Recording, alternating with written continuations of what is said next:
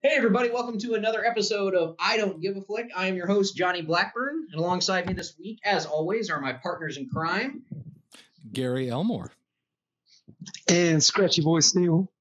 And Scratchy and old old Scratchy himself, Neil Caesar Riley, the man who needs no introduction but insists on having one. Anyways, can't get rid of this guy. Try to every week, but he's just so damn charismatic, and I can't get enough.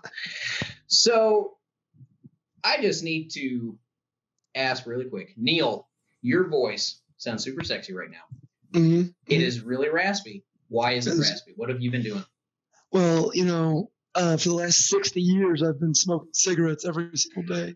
Oh, So, Okay. um, Yeah, the, uh, case the emphysema. I got you. uh, but besides that, I think um, the fact that in my daytime job, I have to help train some dogs and doing a little screaming yesterday did not Yeah, help. I can I can imagine. We'll we'll we'll try to keep we'll try to keep your conversation portion to a minimum. Uh, we are sure you privile- liked it. yeah, just so I can hear myself talk more, as you know as well. Oh. So, um, we're privileged this week to have on our largest panel in the history of I Don't Give a Flick. Uh, I know that we capped out a couple weeks ago with five of us. This week we've got seven. That's right, seven people on this episode. Uh, we would like to welcome with us uh, a slew of uh, uh, actors from the uh, Texas community that have had success, and not only in the state of Texas, but uh, nationwide as well. We'd like to welcome uh, Skeeta Jenkins, Carlton uh, Caudle, uh, Shannon Toft, uh, excuse me, Shanna Toft, and Peggy Schott. Guys, welcome. Hello. Thanks for having us. Yeah, thanks so much. Thanks so much for being here. Uh, so kind of just uh, what we want. We want to just uh, for this week. The episode here is uh, is dare to dream. Basically, uh, uh, you know, it's never too late to chase what you've always wanted to do. To chase after that that that silver lining, that light in the sky. And uh, we brought in uh, four very talented actors who, uh, for uh, for the most part, we've we've all had the privilege of working with on one project or another. Um, so let's get a couple introductions in. Um, I'm just going to go based off how my my screen is set up right now. And uh, uh, um, Skeeta, you are the top. Oh, you're on my top left here. So let's start off with you. Just a, a quick introduction about yourself. Um, and if you guys want to plug any any podcasts or projects you're currently working on or about to work on, feel free. Uh, the more, the merrier.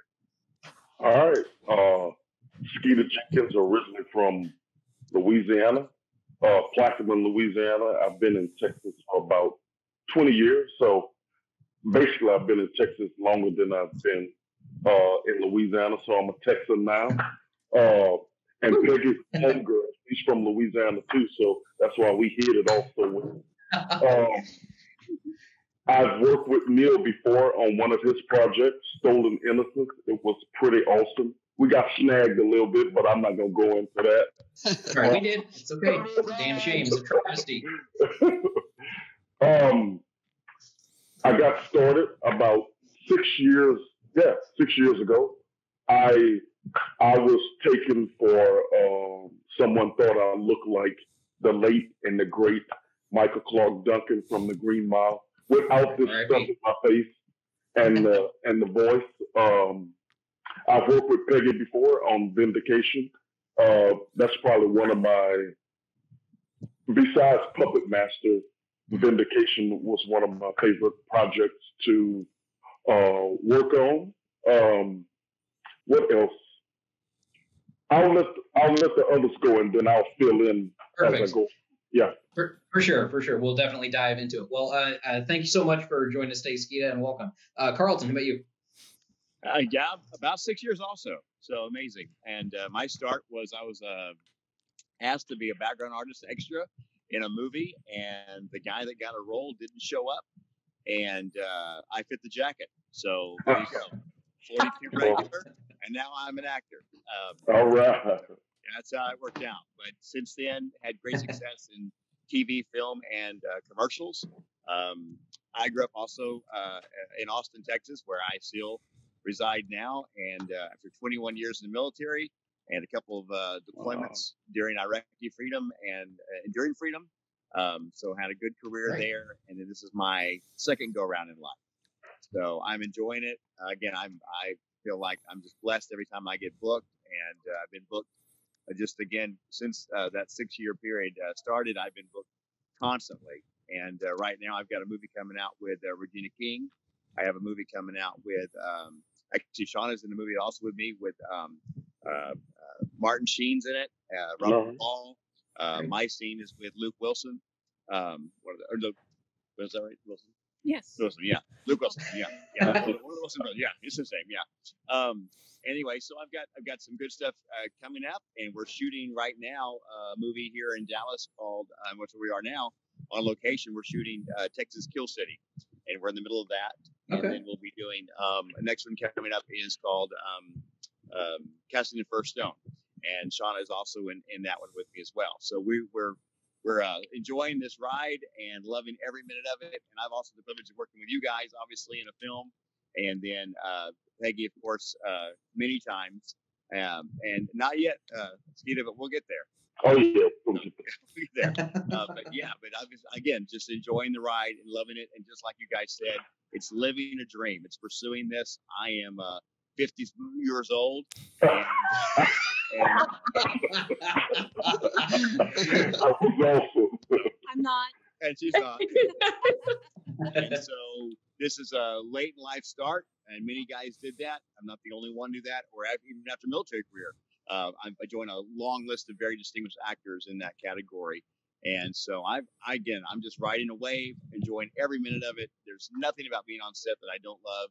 Um, and so, yeah, I, I just, I just can't, can't tell you enough how much I feel every day I'm privileged to live my dream. Perfect, man. Thanks. Thank you so much. Thank you for your service and uh, thank you for joining us. Appreciate Yeah, it. Glad to have you. yeah. Thanks. Uh, Sean, how about you?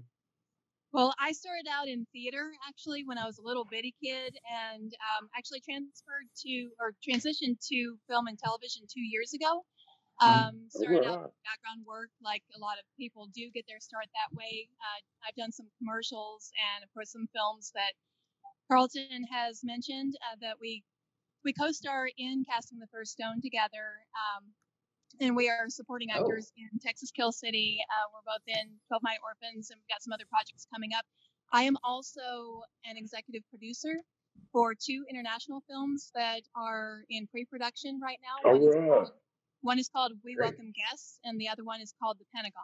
So I'm really looking forward to seeing those come to fruition as well. Okay.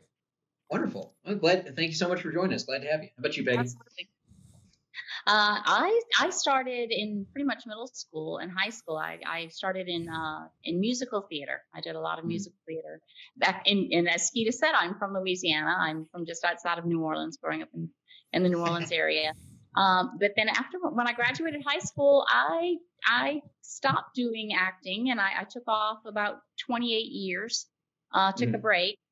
Um, Wow. and I had a graphic design company, raised three kids. Um, and then as the kids were growing up, I was thinking, you know, they're trying to decide what they want to be when they grow up. And I'm like, well, what do I want to be when I grow up? And the thing I always really loved doing was acting. So, so I got back into doing theater and, and in doing theater in, in the Austin area, which is where, where, Mhm. where we live. Um, met somebody who was doing, who was doing film and commercial work. And I said, well, let's try that. And, and I think that, that being older and, and all the all the other experiences I've had throughout Mhm. life has helped me so much um, with my acting. Um, yeah. Um, so and I I For sure. I'm really loving it. The the things that I've of course during COVID there's not much going on at all. Uh, I, I'm working on an industrial right now that's really fun. Mhm. Um, and then as Skeeta said, Vindication is is a faith based crime drama series, and I'm one of the lead characters in that. And we're shooting season two right now. And Great. then um, I'm in several episodes of Fear the Walking Dead from last Mhm. season. And I can simply say that at the end of season five, I'm not dead yet. All right. Perfect. Well, we hope they keep you in. Until, we hope they keep you in until the end. That's for sure. Thanks so much for joining us. Uh, so I kind of just wanted to get, yeah, I just wanted to. since- Speaking of COVID, uh, I just want to go around, and this is for the panel too. Anybody really? Uh, what are you guys doing right now to keep yourself occupied? We actually had an episode a couple weeks ago where we talked with uh, we had we had another producer on, another friend of mine from LA, and then a couple uh, a couple of uh, DPs here in Texas, and you know we were talking about how there uh, you have your COVID compliance officers, and you know uh, their set medics are now more prevalent on even indie sets at certain points. Um, so what's everybody? What are you guys doing? Even if it's not projects, what do y'all? What's everybody doing to stay sane? Like you know, or like for us, we we're doing this podcast. You know, Lead Feather. Uh, you know, no, lots of clients dropped out because they don't have the money right now to to pay us to do commercials and stuff. So so we're like, let's let's do a podcast. That's that's what we're entertaining ourselves with. So how about you guys? I've been doing uh, been doing a lot of reading on the back porch. A lot of uh, from playing football in college. Uh, one of the things you do if you want to get better practicing. So I've Sure. been doing a lot of monologues, a lot of reading plays. I've purchased uh, masterclass and and uh, checking out Samuel Jackson how he does his thing and um, I saw his the other day when I was I was watching Aaron Sorkin's on the screenwriting and uh and I I saw his on there and I was like I I don't act anymore really but I, I just I have to watch this. Should I? Is it is, for our listeners out there? Is that something that's worth their time to take a look at his? It really is. Uh, It's just, it's just not just acting though. You have directors, producers, writers. It's kind of cool to just see how other people get in the flow of doing their things. And um, here recently, I've been doing a couple auditions for some projects in uh, a couple in Canada. So I hope I get that. Okay. All right. Yeah, um, they're doing a thing where if I get the role, they, they would quarantine me for 14 days and they paying for everything and pay for you to film. Okay. it. I was like, oh, oh yeah, I was, I'm interested. Little that's kind of why I'm going the, that's kind of why I'm going the goatee because they want someone with facial hair. So Okay. we'll see. Now, are all of you speaking? Speaking of that, are all of you guys currently for your auditions? All of them are are either telestreamed or they're they're uh, pre-recorded video. Is that correct? Is that have you noticed when when you're like excuse me when when you're auditioning before pre-COVID? What was kind of the percentage of how many were live, and what was the percentage of uh, how many that were actually uh, recorded or video uh, submission? I went in a bunch. I don't know about Peggy. I, I found that that for commercial auditions, they really wanted you to come in. Sure. Um, and most of the commercial auditions are cattle calls. You'll see there's so many people that they come in through there. I can imagine. Um, but for the for the bigger projects, the more uh, and the, the ones that are out of town, definitely they- they're they wanted video submissions. But what I found find interesting and, and exciting, and, and if we can find positives about what's going on with with quarantine, is that there are so many casting directors now who are Mm. finding ways to give opportunities for more video type Yeah. auditions sure. and and even live things um, through through, through like Actors Access. They've come up with a new a new platform to do there that is going that I'm hoping is going to give actors from lots of other places more mm-hmm. opportunities rather than than just people in LA or you, you don't have to be in the place where where you know you, you, won't be having to show up with the casting director and travel Sure. to go to auditions and there'll be more opportunities. My hope. Okay, so a so a lot of commercials, you know, a lot of commercials pre-COVID were were there, and for features, shorts, TV series, a lot of them were were mail-in audition for the most part, Yeah. approximately. Okay, okay. Um, Carlton, what about you? What have, what's what's kind of been coming across your desk recently? Well, um, during COVID, when it first started, you know, everything was just completely shut down. We didn't Right. get anything, and so for weeks we were doing um, online classes with Zoom. Um, boy, if we'd have known that, we'd have invested in Yeah. Zoom a long time ago. Um, even saying that name out loud, I realize how much I've said that word the last two weeks. But Zoom classes um, became the norm. Other things like that. I think um, about three weeks ago, um, all back on our radar became these constant uh, actors access is back up and cast directors from LA are back in and they're now asking for more and more and now we're getting constantly um, able to audition again um, and then fortunately we've actually uh, Sean and I both have the success story of telling you that we've, we've landed a couple of those roles that we probably wouldn't have gotten because they're so far away. As Shanna said, she's working on Oh, international projects. I just got booked on a film in Australia, but my part will be actually filmed in Texas. Uh, but it's an Australian horror flick. Well-known Australian director, but my part he needed a Texan with a Texan voice, you know. And so I got I got cast in that, and I wouldn't have got that otherwise. Like Peggy said, had it not been an international reach for this new way of doing things. Although we Yeah. did video auditions before, not quite like we're doing them now. And um, for me, I'll just tell you a personal side of this is that I don't like video auditions because um, one of my superpowers in all this is is I um, I like people and I like to own the room. I like to meet people and talk to them and and kind of have that play off. If I if I see a, uh, they're having a bad day, I can cheer them up. If I see when I walk in the audition room, if I see that there's something I can add to it, I can see their reaction. I don't get that. So now this is a one and done. Whatever I put on that tape, that's what they're going to see of me. And I don't get to see their feedback right away. And I feed off of that. I'm, I'm one of those people guys that like that like people. Um, so for me, that's one of those things where I, I, I have a drawback.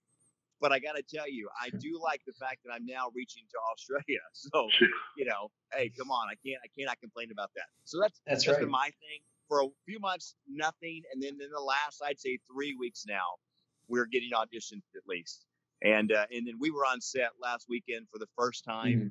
We did one, we did a commercial, a small commercial, but we did we last week we were on a film set, both of us, and we had the whole mask up thing and the whole pre-COVID testing and all the the, the contract about what you will and will not do on set. So it has affected even the work Yeah. right now.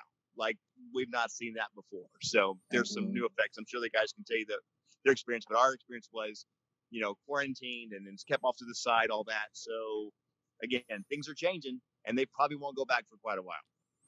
I even got, I even got certified to be a COVID tracer. So if I ever go on set and someone needs it, I can trace for 'em. So There you go. What just all? too Uh, much time on my hands. what all is involved in being a COVID tracer? I had to go through like seven hours of online classes and take tests. I thought I was in school again. I was like, really, what am I doing? Okay. But hopefully it come in handy. Okay.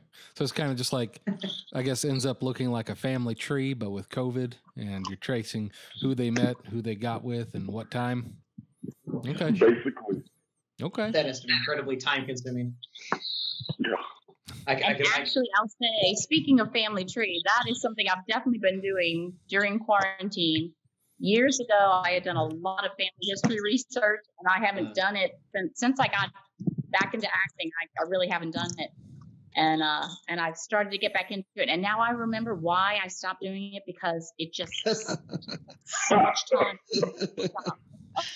Well, uh, I, I I do some uh, family history work as well, and uh, with the online resources. This is way off topic, but whatever. Um, with the online resources, uh, you know, like Ancestry.com or Family Tree, it it really makes it easy because there are people that are very good at doing that, and you don't have to be good at Oh, all. You're just like, here's my grandpa's name, and it's like, boom, you're related to Charlemagne. Cool.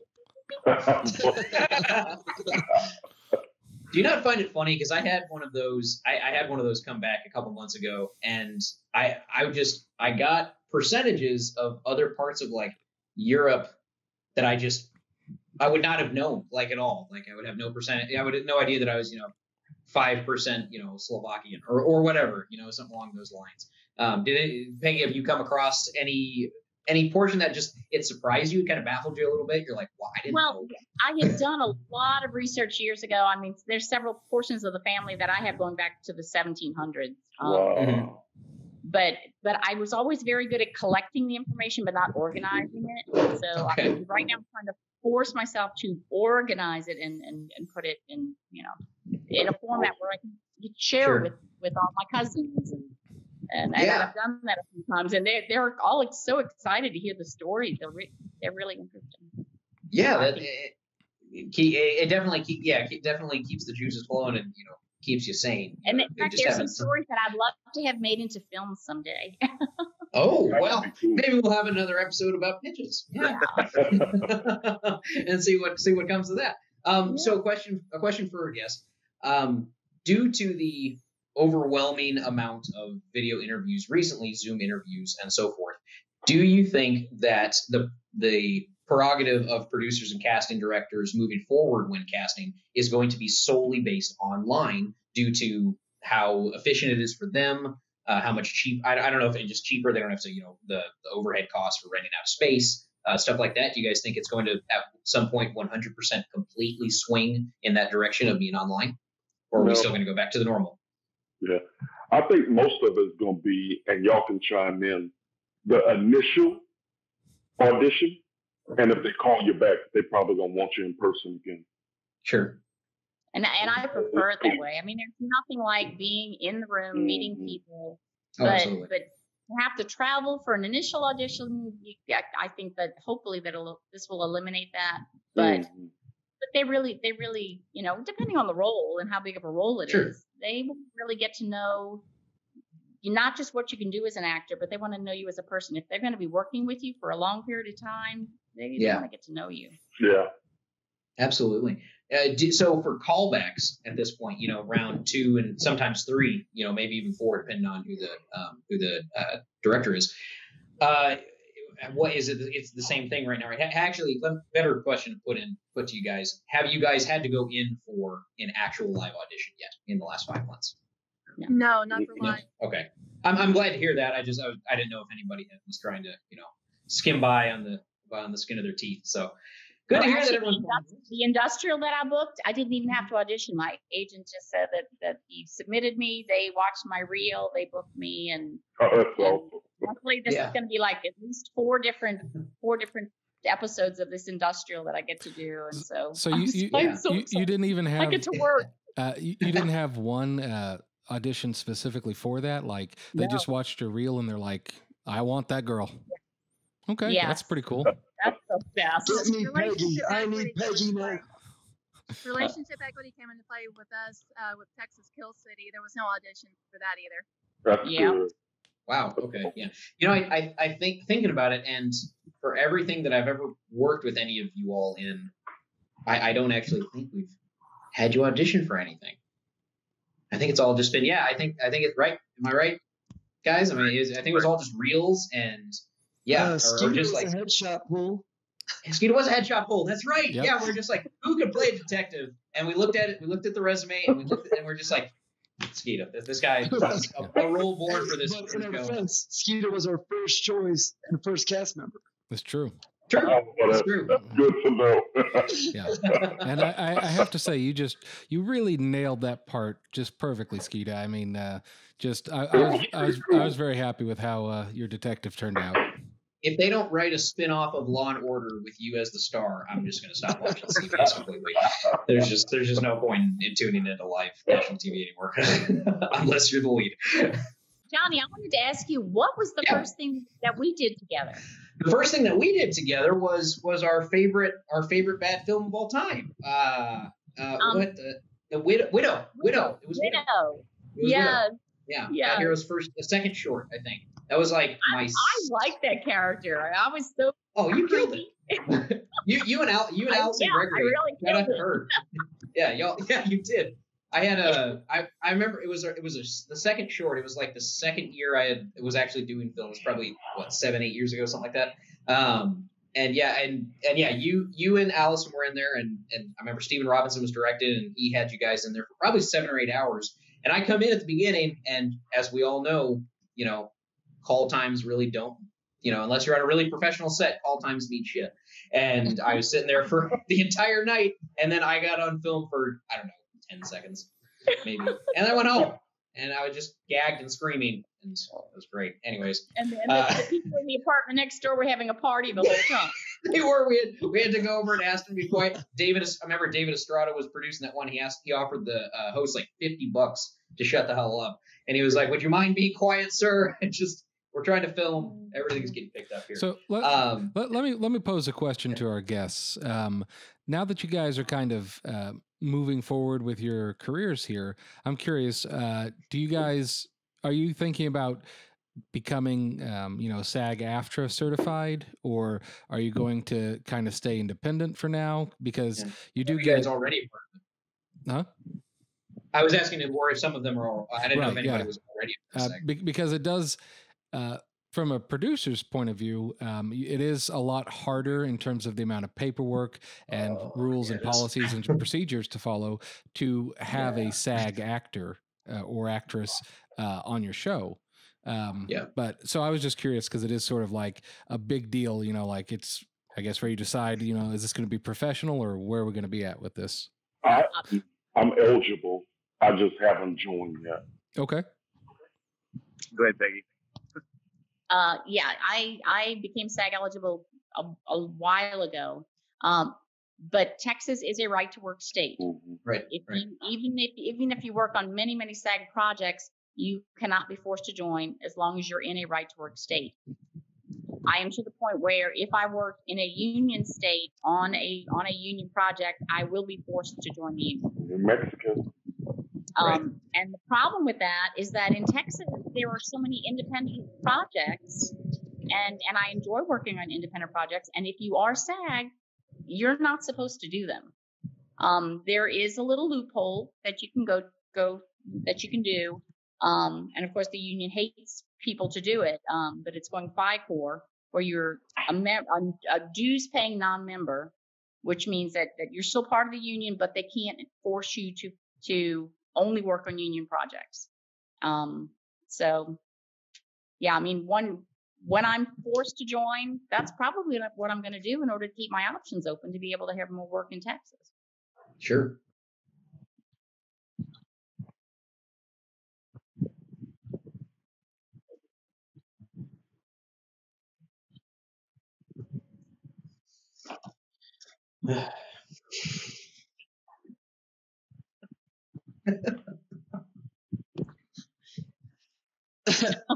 We were well below that.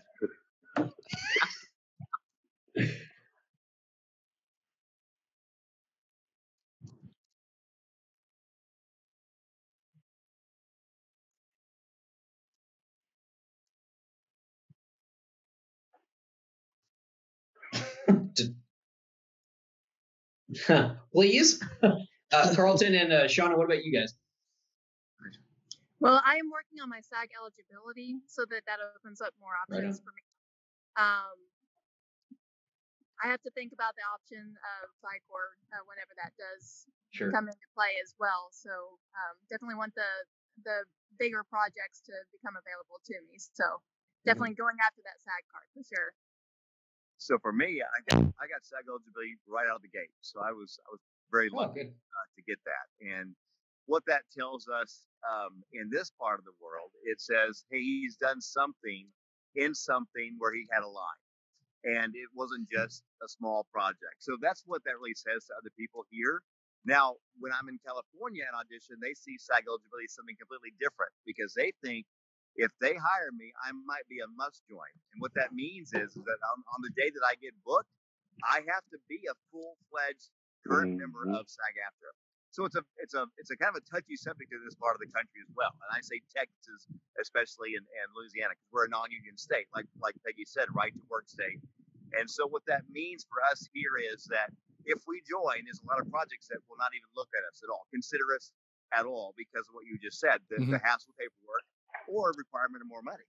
Um, but I've done several SAG things, obviously working with people like Martin Sheen and all those I mentioned earlier, and and um, they're all SAG members, have been for years, and uh, in many cases they are they're even SAG award recipients that I worked with, and I can tell you that every time I talk to them, I say, should I, should I not? They say, until you're out of Texas, don't do it, don't do it. Now again, that's controversial words. There'll be people listening to this, broad, this broadcast and will say, oh, that guy doesn't know what he's talking about. The moment you get SAG eligible join, it's the professional group, a yada yada. But I'm telling you, the reason it's so touchy is around here, many, many projects that we do, and we're paid for, and we're paid well, and many times it's paid scale. I did a I did Sure. a Ram commercial in Texas and paid scale on on SAG.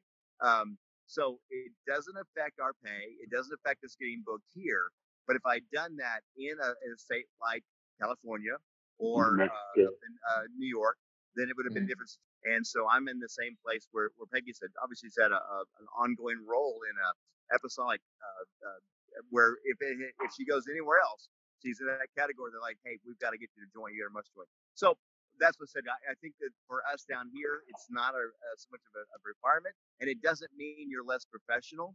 So when we say here Sure. SAG eligible, what we're trying to say, and why Shanna just said she's working to get there, it just means, hey, we've done something significant in our career. That means someone has already given us the chance to prove ourselves. Mhm. So Right. now use us again or, or look at us more seriously. But um, in other places, again, that means immediately, hey, watch out. We may have to get this guy in before he can do anything. Um, if, if that makes any sense to the listeners, and I'm, I'm sure to you guys, because you said you did paperwork, you know when you're doing uh, uh, when you're a full SAG member and you do something like like what you were guys did. I was on that with you guys, and like just that one or two lines, you have to do all of your work to satisfy the union. Um, so again, laws I'm, I'm stationed out of Texas and working here and Louisiana and Atlanta, um, then that's not going to be on my on my uh, to do list anytime soon. It's like there's no beginning or end. Right. That was Oh, your that was your line from I the That's I, Yeah, exactly. yeah, yes. The, very, very good. Very topical, Gary. Yes, thank Uh, you. I know. I know why we keep you around now. For all four people who have seen Eye of the Beholder. Yes, go to www.leadfeatherproductions.com. All right, and we're done plugging that one.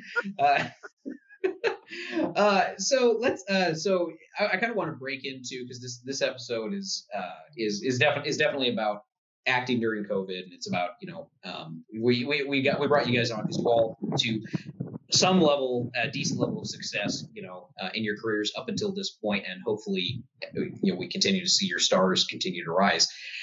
Um, but the big thing is that a lot of people out there, and we've encountered a lot of other people outside of you guys, even, uh, and even people that aren't acting, uh, people that are just PAs. Um, they talk about wanting to get a start later in life, and they're like, "Oh, I'm just, you know, I'm, I'm this, I'm so and so age, or I've got this going on right now, or my kid's this, or my job that. It pays too well. I don't want to."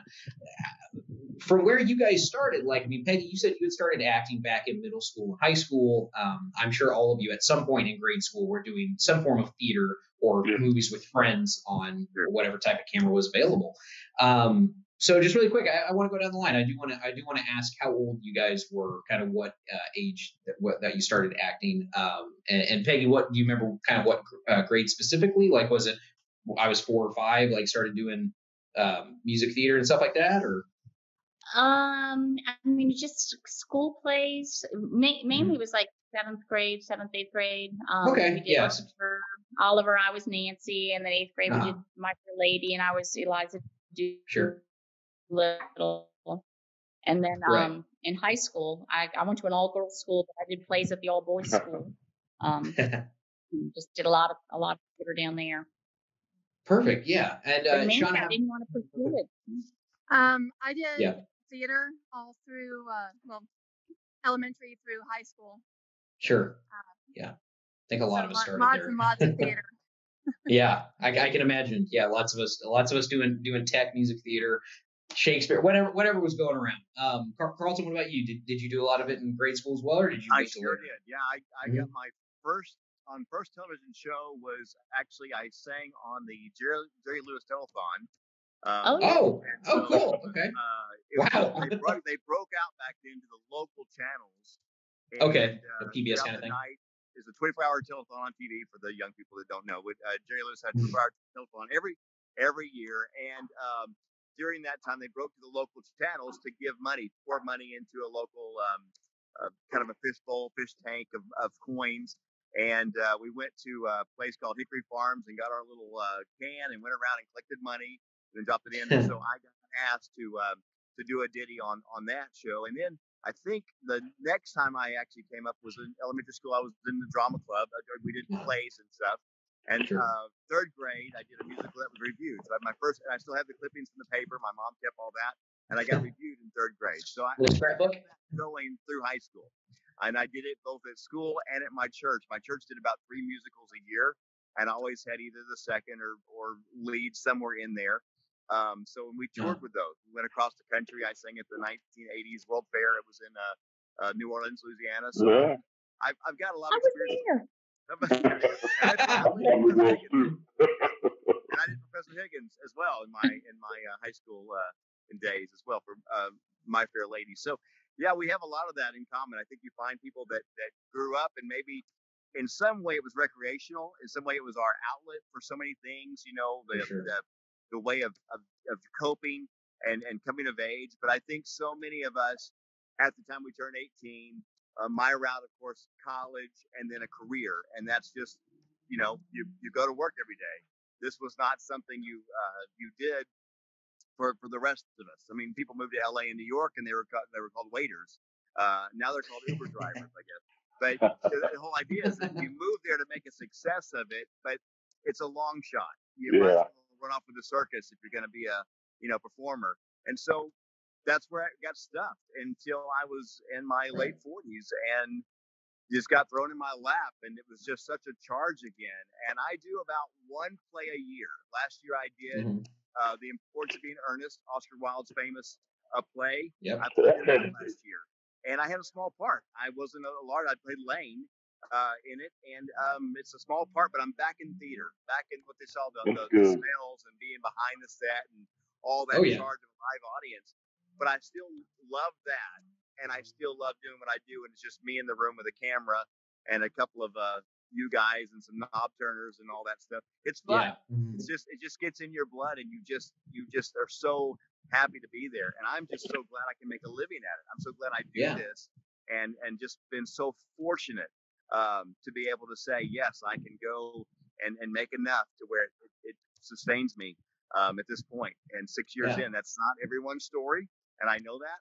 Uh, so I, Mhm. I just always give back to like you guys that took a chance on me and said, hey, here's a you know a couple lines. Well, you know it's all a beginning. It just starts snowballing from a couple lines to being now, like you said, in a starring role of a film um, in six years. right. That's just my story. It's in, it's infectious, man. It's it's it's it's it's always in our blood, regardless. I mean, Neil Neil Gary and I had we we're all friends from high school, and we had all started in theater as well. And you know, none of us, you know, I mean, we we write, direct, and produce our own stuff now, but we all of us started out as actors, you know, and it just it kind of evolved from there for some people, and who knows, maybe at some point we'll jump back in just because we're tired of standing behind the camera, but who knows? Um, Skeeta, what about you? You said did you say something about playing college football too, or did I I miss your? did.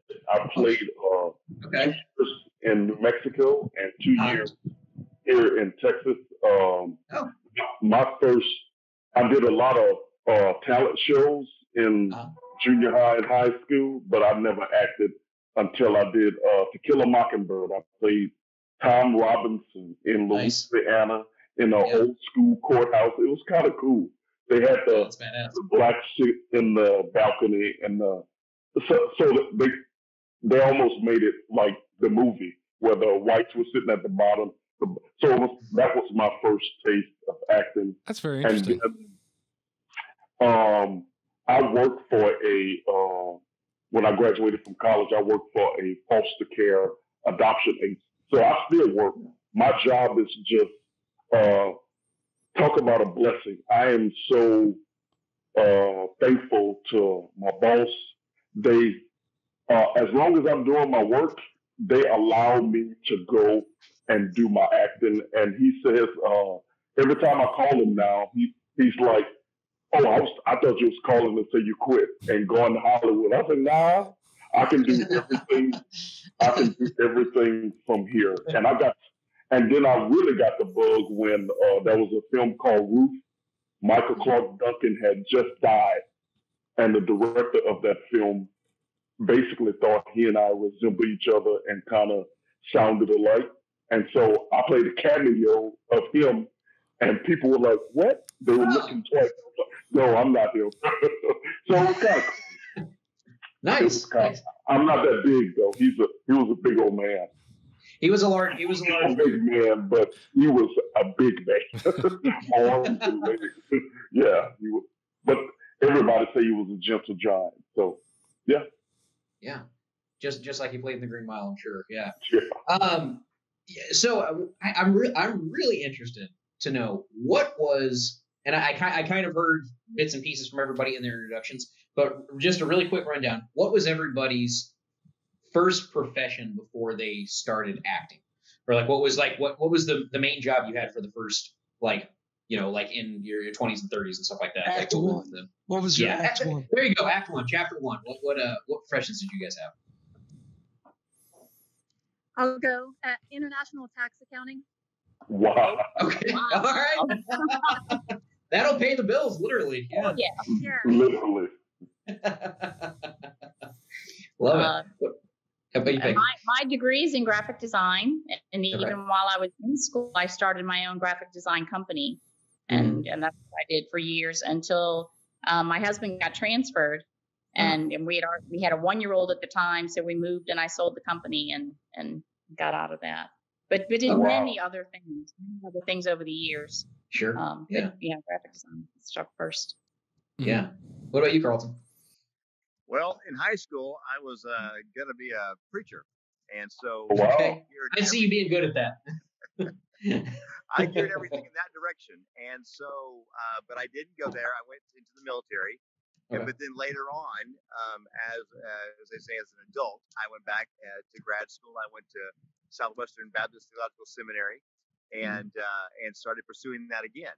Um, and again, had a brush with that for a while in my life. I was always in the military, but sometimes I would serve in a church wherever I was, Sure. and um, that was my ultimate, you know, goal. But military was my obviously career for for many many years, and um, and then uh, once I got out of that, I actually went to uh, teaching school. I taught at Comal ISD. Wow. And so I thought that was even my second career, and that's where I started thinking that's that's where my life is going to go. But Yeah. this came up as, like I said, an extra. It got bumped to a principal role um, in a film that um, directed by uh, Dana Glover, Danny Glover's uh, cousin.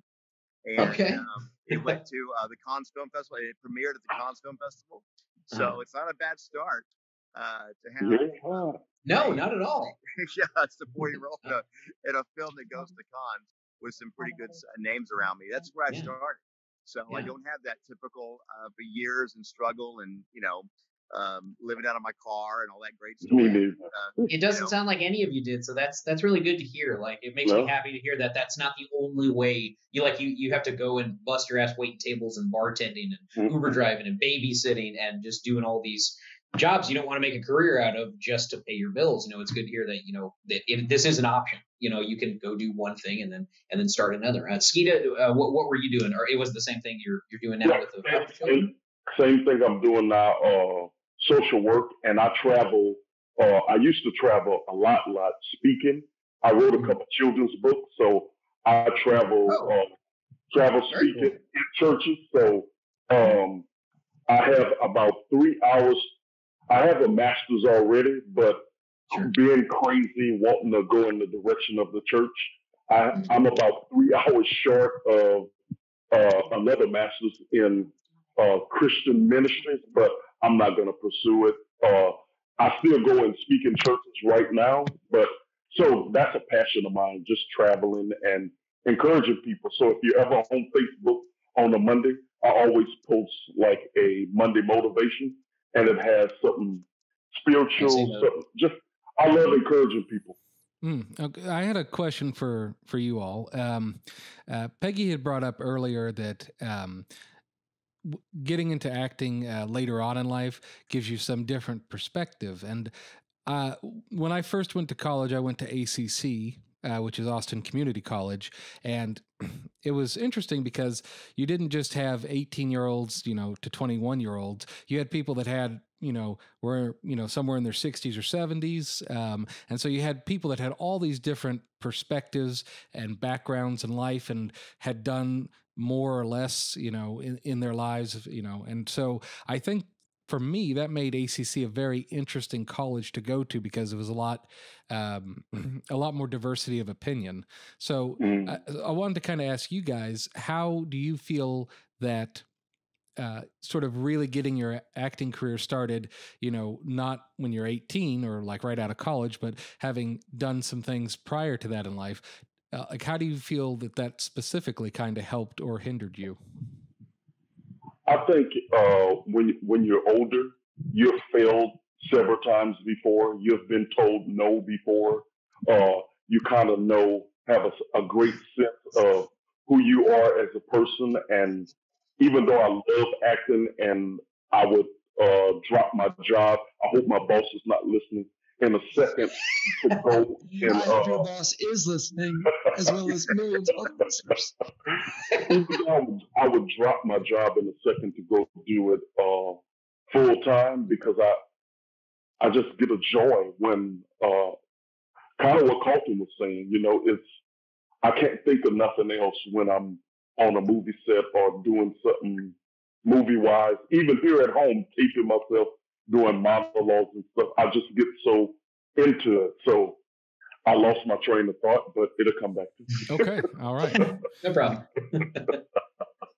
uh, now, Carlton, when, I, when I think okay. about I've been being in classes, take and I've taken a lot of classes, and that's something that I would absolutely want to say, and I highly recommend mm-hmm. if anybody's interested in pursuing acting, the number one first thing you need to do is to get into a good class with a good teacher mm-hmm. who can teach you the you know the basics of acting, the basics of auditioning, um, you know how how this whole business works, and then also I definitely recommend working as a background extra getting yourself on set, seeing what a film set is like, seeing what a TV set is like. You learn so much.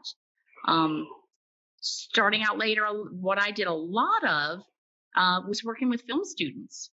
And mm-hmm. and it was interesting, you know, being an older person with with all my life experiences and, and business experiences and things, and working with these young people who, you know, they knew more about film than I did, but I knew more about so many other things than yeah. they did and I and we we learn from each other and and I love that relationship of you know learning from young people and and also being able to to help them in what they were doing and, and encourage them um, but being in class and seeing some of the some of the my instructors working with the young people trying to help them get to a certain emotion or feeling because they're young and they haven't experienced that. And I'm thinking, oh, I can just pull that up because I've been through that. Yeah. Um, yeah. Some of them I wouldn't recommend, but you know, but sure. I, I think there's two things for me. I think I think priorities and experience. So those are my two things sure. I bring into the table. So when I'm doing a movie, um, I notice that a lot of times uh, on set is an advisor um, of some kind, whether it's a police officer, he's there to advise how to do something, or a military person who is advising. I uh, have done shows where they're they're even full time uh, on television shows where they have a full time person. So it's funny when you go there and you do that and you realize that's what I used to do. That's my job. I know what I'm doing. I know how to carry, for example, an M16 rifle. I know how to uh, put the uniform together. So there's experiences I have like that that really help a great deal. And in this industry, they actually pay somebody help that. The other one I mm. like is that I have a world of, of just experiences of uh, just of other jobs that I've done, mm. and I bring all that to my role. Mm. Everything, even being a father, uh, I I know what that feeling's supposed to feel like. I know how that interaction is supposed to have between this to me and that other person, the other actor. So I experience. The other thing is my priorities. Um, if I'd have had this at 18 years of age, I'm telling you, I'd have I'd have the, the sports car and the speeding tickets and um, girls around. Um, but, Cover both. You only got one. yeah, I got one. Well, it's only one good ear.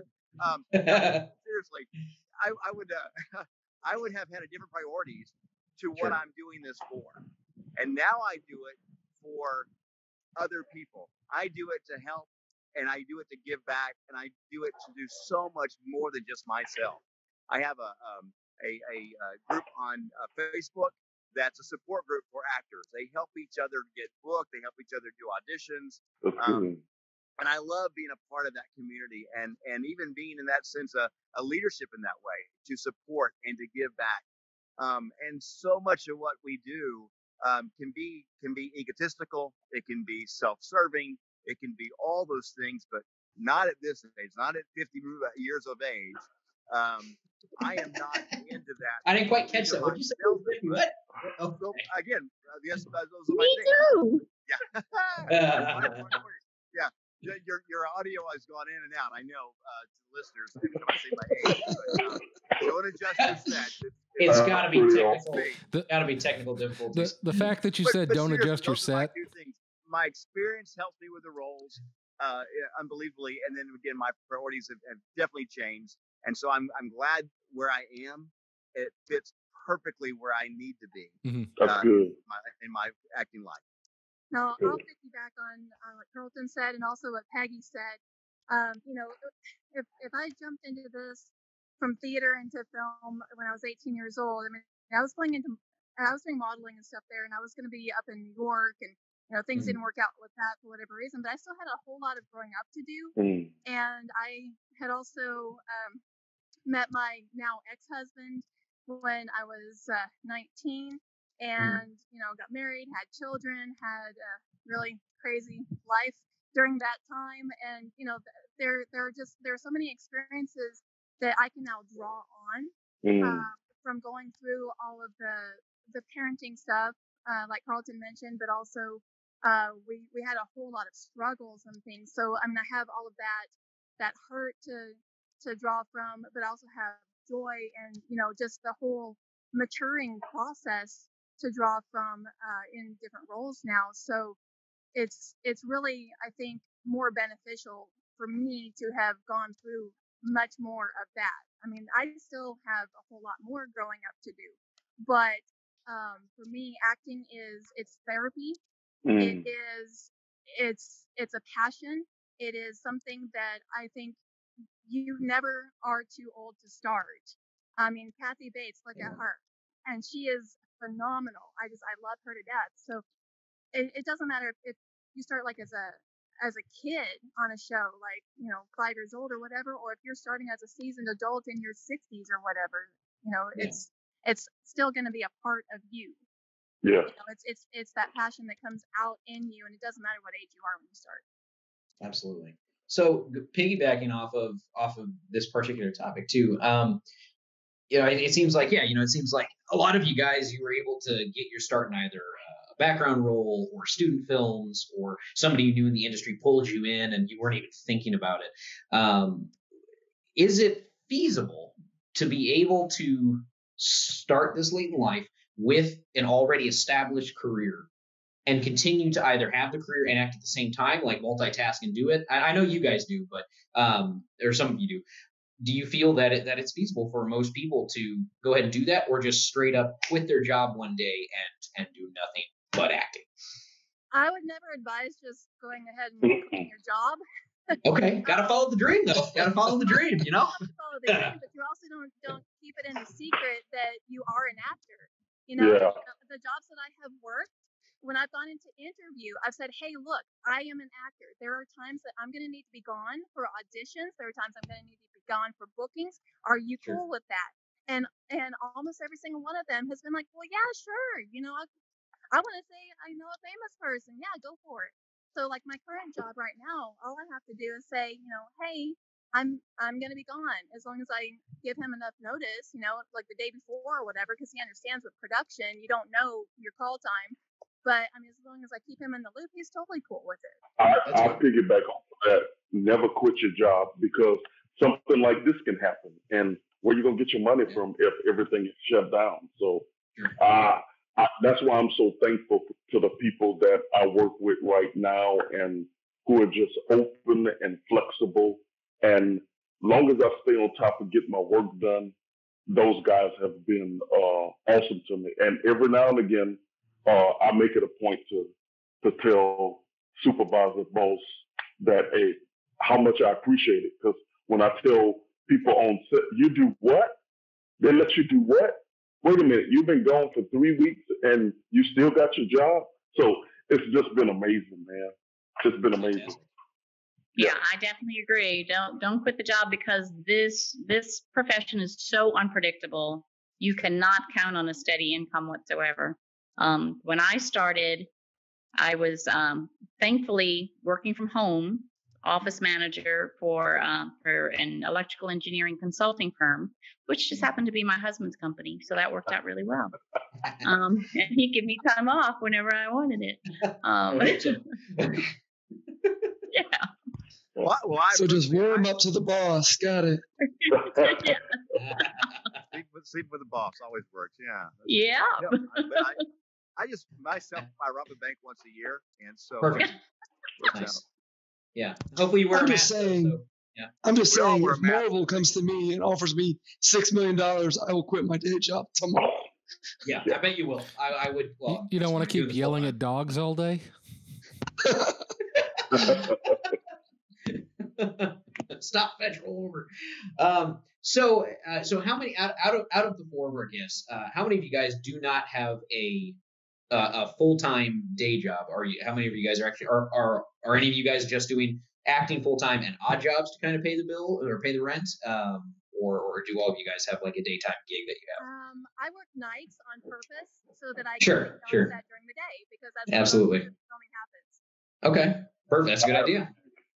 And you do too, Skeeta? Okay. Carlton, what about you? Do you have it? I no, I don't. No. Okay. Okay. It's just job to job. I like I like that. Peggy, what about you at this point? No, no, I don't. I don't. And in fact, now I gave my daughter my job. She works for my husband. Oh, okay. Well, that's that's, He's that's the one who is helping helping me set up the computer and getting the microphone to work. That's right. you don't want a career in IT tech or anything like that? No, no, never did. Never did oh, that. I would never want that either. I'm horrible with computers. Um, so at, at any point when you guys, so it, it does sound like all of you are in unanimous agreement that you don't have to, you can be at any age, at any point in your life, uh, with anything going on. And you, if you have, if there's a will, there's a way. And if you Yeah. want to make it work, you can make it work. You know, um, even you know, you, you don't have to become a waiter or a bartender. You can still have a day job, and you just got to be flexible about it. So, you know, I heard some some really good advice. Yeah, you know, find, find a job that has that has those flexible hours. Um, be be transparent. Let people know ahead of time. Hey, I do this, and this is something that I really love. Is this okay if you know I do X, Y, and Z? Um, so that's great. Or build up a you know a fortune, I guess, ahead of time, and then never have to work again, and then you know just go to as many auditions as you want. Um, that would be cool too if that were That's right. uh, so at any point when you guys were when you guys were were younger, when you were kids, um, or even even as teenagers when you were in theater and stuff, um, did it ever occur to you to say, "Hey, I don't want to go and I don't want to go and join the military or be a minister or work with kids or graphic design or or you know or accounting or taxes or anything like that. I want to go to LA and New York and I'm going to act and I'm going to do it. I don't care what it takes. Did that ever cross your mind or it was just a fleeting thought? I wanted to play football, so it didn't cross my mind at all. Okay. Well, right on. For, for me, it did, but I was shut down because my, my parents um, had control of the money. So they, I Money wasn't talks. allowed to go to New York, but I also have Bank of Daddy, so um, that always helps. yeah, you know I have to keep I have to keep Dad happy. there you go. Um, so uh, you know, for, for most of you guys, I guess the the big thing that um that we're that we're looking for, I think, uh, for for a lot of folks here is, do you guys have any? It doesn't even necessarily have to be for people that are wanting to go ahead and get into the game. Um, you know, uh, that, that they want to get into the game and it's that's a late start for them. Just any actor in general. What tricks of the trade would you give to people? I, we heard some really good stuff. You know, working with working with film students. Um, you know, working working in like the film students. You know, trying to find like go to if you're in Austin, go to UT. If you're in Los Angeles, go find uh, shorts at UCLA or USC or something like that, and act for free at the beginning. Um, get into a class. Are there any tricks of the trade? I mean, like uh, Facebook groups, Backstage.com, stuff like that. What would you guys suggest for aspiring actors to get started? Networking. Networking. Okay. How so? What, what are what are the what are the best the best events to go network at? I've been to a couple mixers, and I the first time I went, I was like, ah, this ain't gonna be. But I'm kind of like Carlton. I'm a people's person, so anywhere I go, I can mingle and chat with people, and it turned out to be be- beneficial because I have an audition for a couple projects. People just say, "Hey, so and so told me about you from this. We want you in this." So that's been pretty cool. Just networking with people.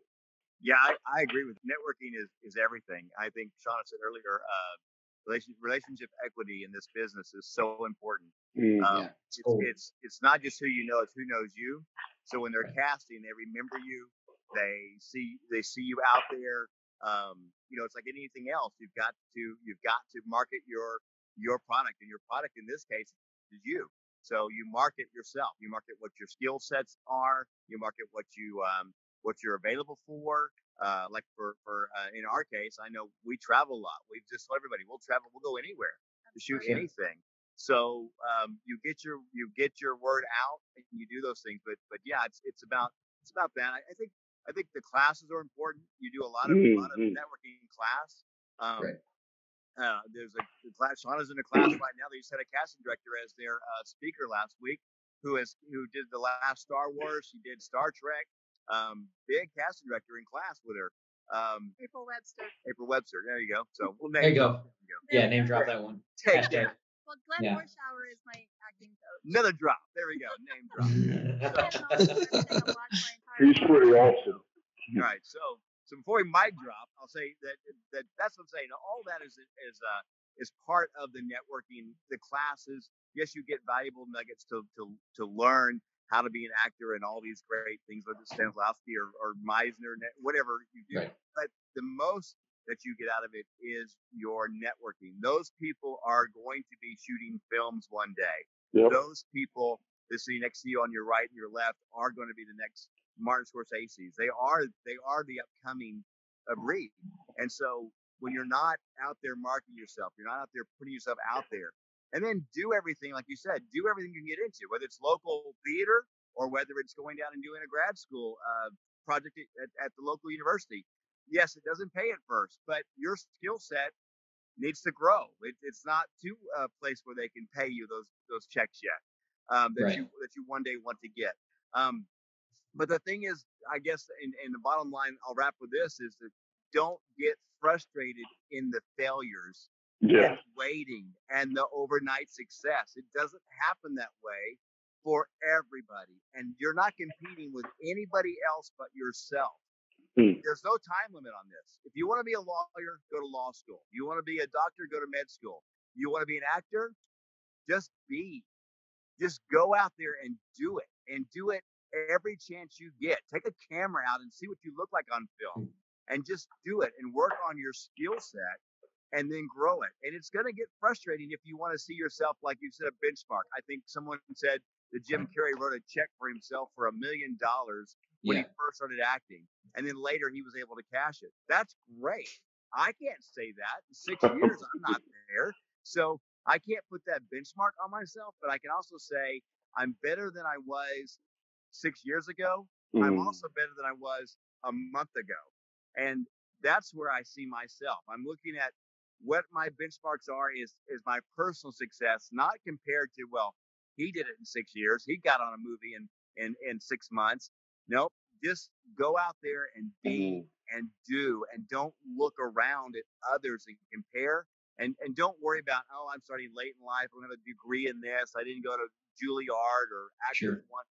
That's not the important thing right now. The important thing is be yourself and go out there and do it, and do it as often as you can. Absolutely.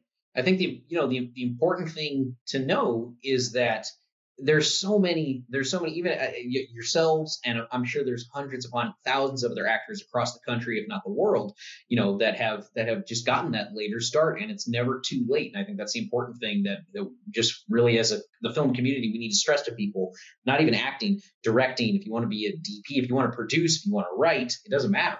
You know if you love it go out and do it a stunt, yeah, you could be. I mean, yeah, you could be stuntman. I don't know how well that'd be if you were depending on at the age you were, but I mean, like if you look at, um, we had we had a list. We were researching some. You know, uh, Christoph Waltz was 51 when he got his big break. You know, James Gandolfini was 38. Alan Rickman was 46. Um, God, who else was on there? You had, Morgan uh, Freeman. Morgan Freeman was in his Mhm. 50s. Yeah, Judi Dench was 61. Um, you know, so there's a lot of people that you know they had careers while they were doing stage work and commercial work, um, and it, they weren't hitting the big time necessarily. Um, and it seems like the you know you guys, it seems like all of you within your first couple years, you found um, you know pretty decent success, whether it be um, you know uh, for Vindication uh, or Fear the Walking Dead um, for for Skeet and Peggy or um, Carlton with all the uh, commercials you've done you've done there, uh, and and for what you and Shanna you guys are doing the uh, those international features.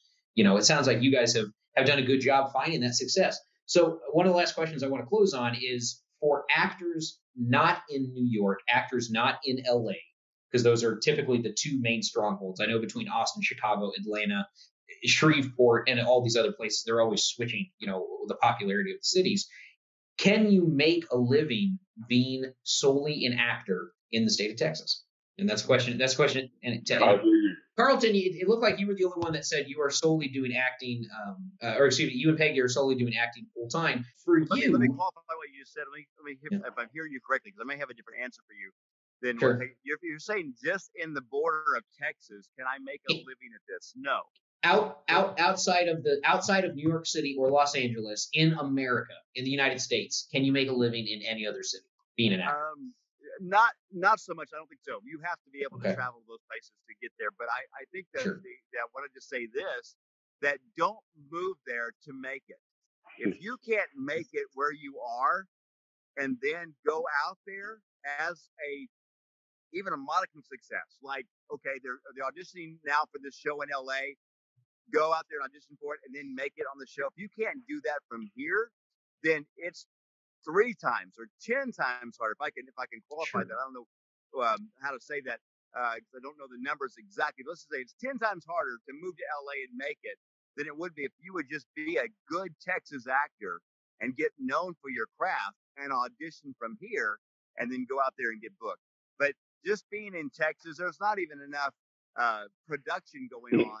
If you landed something in everything, if you were a, a, a walk on in everything, or you got a, a, a even supporting role, you wouldn't make enough to, to survive unless you had very, very little bills. And, and you know, Sure. again, and, and that, but if you have a family and all that, no, but you can make a living as an actor and still live in Texas, but no, Sure. you're going to work other places.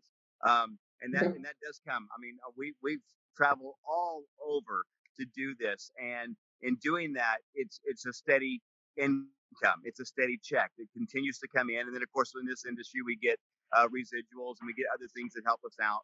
Um, like through COVID, uh, I still had checks in the mailbox. So we were not Sure. working, but there was still an income coming in during that time. But to say that, to say in Texas itself, no. But to be a Texas based actor and work, yes. But you've got to get to those other places. But don't move. Don't move. Please don't move there. You'll be frustrated in no time. How hard it is. It's a different game in New York and LA. It's a different is. game. They're looking at different pedigrees that we don't look at here in Texas. So I I, I, I want to thank everybody for uh, jumping on this episode with us today. Unfortunately, we are running low on time, and uh, it's been just such a pleasure. Um, a little game that we do like to play uh, before we before we go um, is for we typically like to ask our guests uh, if you guys have a uh, movie recommendation, maybe something you've seen recently, an all time favorite, uh, anything like it doesn't matter what it is. Um, just for our listeners for this week, uh, maybe they'll check it out, maybe they won't. Um, it can uh, it can star an actor uh, who just like yourself started later on in life, or it can just be a movie you watched recently and you loved, or it can be one of your all time favorites. It's really your call. Um, so I'll give you guys a moment to think. Uh, I'm going to go ahead and start with the panel here because we're used to doing this on the fly. Um, Gary, any movie at all that pops into your head that you loved within the last during COVID? Throw it out there. What, what should our listeners listen uh, watch this week? Well, uh, in keeping with our theme of those that start late uh, with their um, acting careers, Alan Rickman started late, so I'm going to recommend. Stop taking my picks every week. I'm going to. I'm going to recommend Galaxy Quest. Every week. Stop taking my pick. now, Neil, I heard that. Can someone translate that for me, please? Uh, I think Neil said keep taking my picks. Okay, week. Okay, totally good. Fine. I don't mind. So I yeah, think you said uh, no. Galaxy Quest with Alan Rickman is uh, Gary Elmore's original and first pick. Thank you, Neil. What do you have? What do you got, Neil? Well, I, I had already pulled up 1999's Galaxy Quest, so you're gonna have to come back to me. uh, I'll, I'll go. That that's fine. That's fine. Um, yeah, you know, one that uh, I'm I'm just gonna have to say. Uh, so Bryan Cranston, who we didn't mention, he started on Malcolm in the Middle, got his big break when he was 44. As you guys all know, he did, you know, Tim Whatley and Seinfeld, and did a bunch of other stuff in the 80s and 90s. Um, but he did a fantastic film that I still to this day thought was robbed at the Oscars, as a lot of films are nowadays. Um, but he did a film called Trumbo about um, uh, one of the writers who was blacklisted for being uh, uh, for apparently being uh, communist back in the uh, 50s uh, during the uh, uh, writers, excuse me, the um, blacklist. So fantastic movie. He did a fantastic job. Got nominated for Best Actor. And yeah, that'll be my pick this week. Trumbo. Neil, we'll go back to you. All right. Well, since we're having to circle back to me, keeping in the theme, uh, I am a big fan of Kathy Bates, and uh, one of her big, big starring roles would be Misery. Uh, you know, people are quarantined in their house. might as well get a get nice horror movie of someone stuck in a house. Very good. Nothing nothing makes us more at ease.